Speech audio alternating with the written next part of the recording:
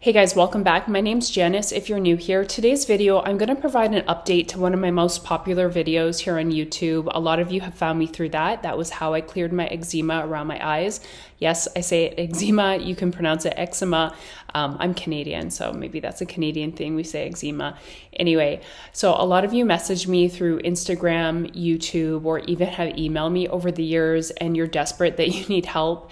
And unfortunately, I can't respond to everybody. Everybody's body is so different. Also, I just wanted to say from working in dentistry most of my life, um, doing a thorough medical history is so, so important. So never get annoyed if, you know, you have pages to fill out when you go to a new healthcare provider because that's very, very important. We gather a lot of information that way. So if someone just writes me a question on Instagram or emails, I, I can't necessarily answer that for you. I'm not a doctor. Not that that really means anything because I've been to lots of doctors who know nothing about this. I don't say that to be a know it all by any means, but when you've suffered with something, you yourself has probably done the most amount of research. You know, a doctor can't be a master of all, right? I am very passionate about healing yourself naturally, if you can do so, and getting to the root cause of illness.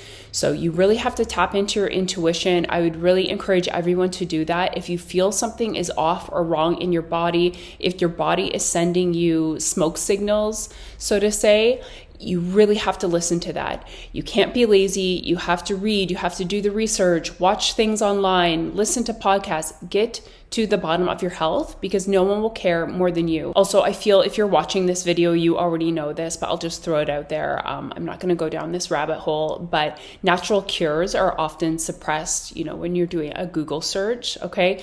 So you really have to dive deep. I find a lot of times what's helped me is sometimes I'll watch a YouTube video and I scroll through the comments, and someone, even in the comments section, says something that resonates with me, or they might suggest a book. So, really, you know, don't take no for an answer do a deep dive. You owe it to yourself to figure out your health because no one cares about your own health more than yourself, okay?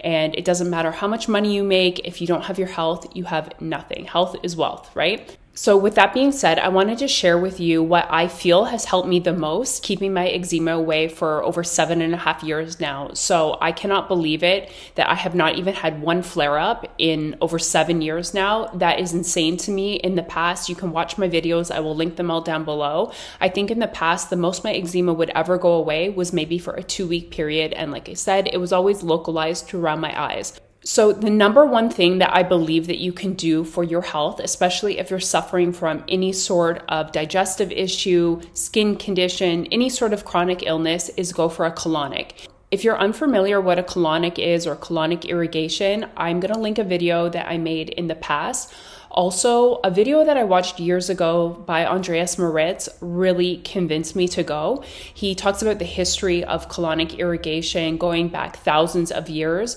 Also, I believe in this video, he stated that in Israel, um, up until maybe a certain point, I'm not sure if they do this anymore, they would not treat any sort of chronic illness unless the patient can prove that they've went through colonic irrigation. A lot of disease, chronic illness starts in your gut. So if that's not healthy, how are you supposed to heal heal your skin or other ailments that you might have.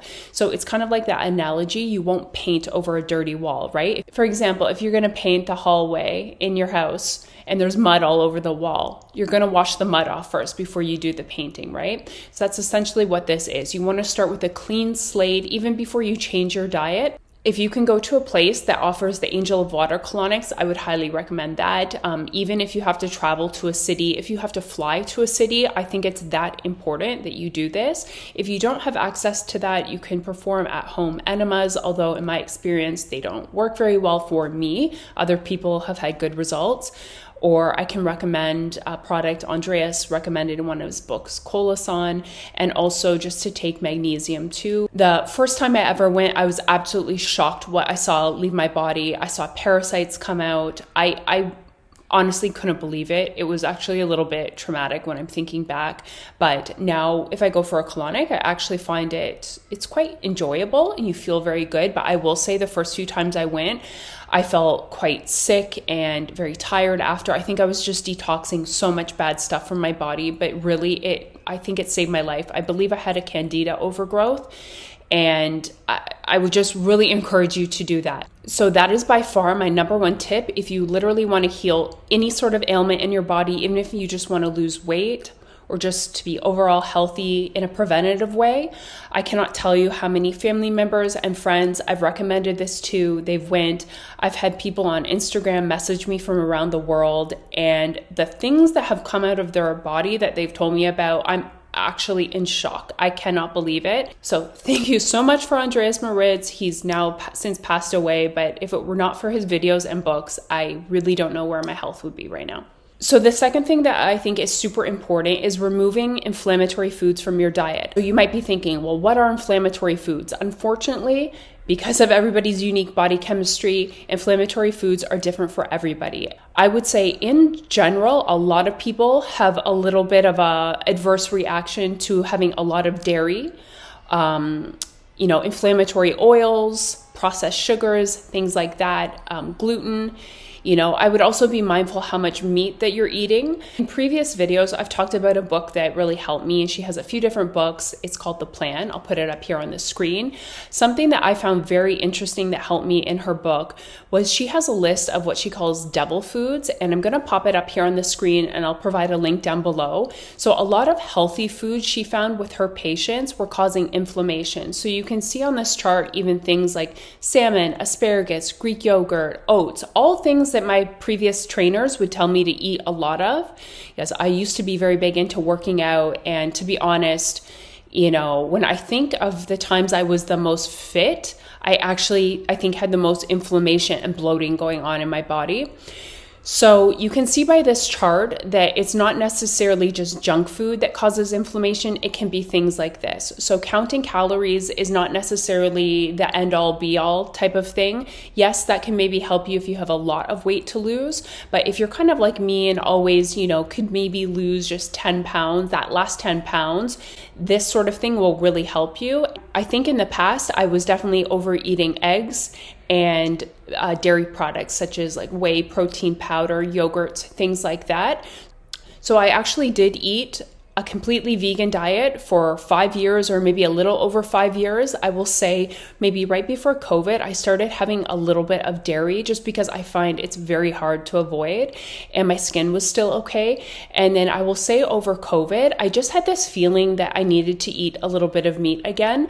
I still don't eat very much of us, neither one of us do here. I will say a lot of days we still eat completely plant based, but I kind of just eat a normal, well balanced diet. I don't eat too many animal animal products. I think for the most part, we do like to eat very healthy at home, and we've been traveling a lot this year. So, of course, when I'm out traveling, I'm going to try desserts and unique foods that I can't necessarily try here, but my skin has still been perfectly fine. So, often when you eliminate foods from your diet and let your body heal, you can reintroduce them slowly at a later date, but you sometimes have to eliminate them for quite some time. I would say maybe give yourself a challenge and eliminate a certain food or, you know, maybe you want to eat a whole food plant based diet for one month and just see how you feel. That's the challenge I gave to myself, and my skin really cleared up. So I just kept going with it. I felt better, so I just kept with it. Okay, so the third thing that I really think helped my skin was that I did the amazing liver and gallbladder flush multiple times. I've made lots of videos here on YouTube. I will link them down below. So, again, this is a protocol by Andreas Moritz. I followed everything in his book to the T, and I was just amazed. So, often, due to the things that we eat or that we're exposed to, we're putting on our skin, things like that, our liver over time, it's not functioning how it's intended to. It's not like in its optimal state. So basically, this protocol helps rejuvenate your liver and makes it perform how it's intended to. And it can relieve a lot of ailments. So, I, again, I don't want to make this video too long. You can go watch my videos on that, but I think that that is great. Okay, and a few other things I wanted to mention that could be causing your skin condition. So, I only really know about this because I worked in the dental field. So, if you are a mouth breather, made videos on this in the past. I'm going to link them down below that can help you. If you're a mouth breather, unfortunately, you're going to be prone to a slew of health conditions. So, it can severely affect your health and your appearance, actually. So, I've made videos in the past. I'll link that down below. So, that could be something that you need to work on. So, also, too, something I wanted to point out if your eczema is localized, say, to your eyes, like mine was, it could be something with your lymph nodes. So, maybe these lymph nodes are not getting properly drained. So, I might might have to work on my lymph nodes here um, if it's localized just to my face. So your lymphatic system is only really getting work through physical activity. Jumping is very good for that if you happen to have a trampoline or just jumping up and down, things like that. Or you can go for manual lymphatic drainage massages, those are great too. Um, so that's just something I wanted to mention. You might want to research that. I've also done parasite and kidney cleanses. Obviously, you know, you can use unscented products, clean skincare, all that. Trust me, I tried all that in the past, but it was really only when I did the colonics regularly that my skin really cleared up and I took things out of my diet. So I would say those two are the most important. I would say if your doctor wants to prescribe you medicated creams or ointments, you know, you might have to use that just for a little bit of time to get yourself out of pain, but don't stay on that stuff very long at all because it's not good long term and it's just going to clog up your liver even more. But I do understand if you have to go on that as a temporary solution, but really make it your mission to get to the bottom of all this. I know that was a very vague video, but as mentioned, I've made more specific videos about those subjects down below. I'm going to link all the playlists. I'll also link that Andreas Moritz, the History of Colonics video. I think everyone should watch that, as well as a list of books that have really helped me and the list of devil foods. So sometimes you just might read something or hear something once and it just sparks something in your mind. It resonates with you, and hopefully it'll just make you think of things a different way. And I'll just end the video by stressing that no one should suffer from eczema. So take it as a smoke sign that there is a fire within your body somewhere. So whether that's a respiratory issue, you're not breathing pop properly, you're putting something on your skin that's causing inflammation, you're eating certain foods causing inflammation, your colon is clogged, you're eating a lot of foods that produce mucus. So you almost have to look at it that your eczema is a blessing. It's telling you that something is wrong within your body. So fortunately or unfortunately, it's only up to you to really get to the root cause of that.